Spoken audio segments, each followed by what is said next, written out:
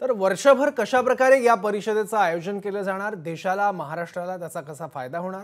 कुठले महत्त्वाचे विषय या परिषदेमध्ये चर्चिले जाणार? या संदर्भात माहिती देत आहेत जी ट्वेंटीचे शेर्पा अमिताभ कांत. देखिए हमारा लक्ष्य ये है कि ये साल भर इवेंट्स चलेंगे। तो जब साल भर इवेंट्स चलते हैं तो आपको हर स्टेट में सिटी इंफ्रास्ट्रक्चर अपना कल्चर दिखाना, अपना क्विजीन दिखाना, अपना हैंडीक्राफ्ट दिखाने का एक अवसर है। हर स्टेट को बदलाव में बदलाव लाने का।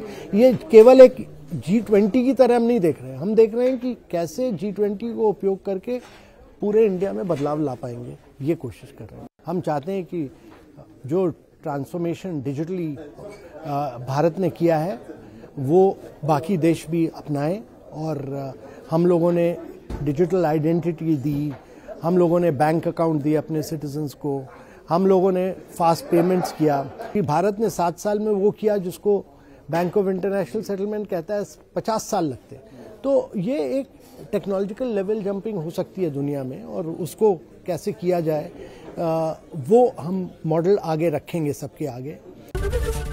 एबीपी माझा उघडा डोळे बघा नीट।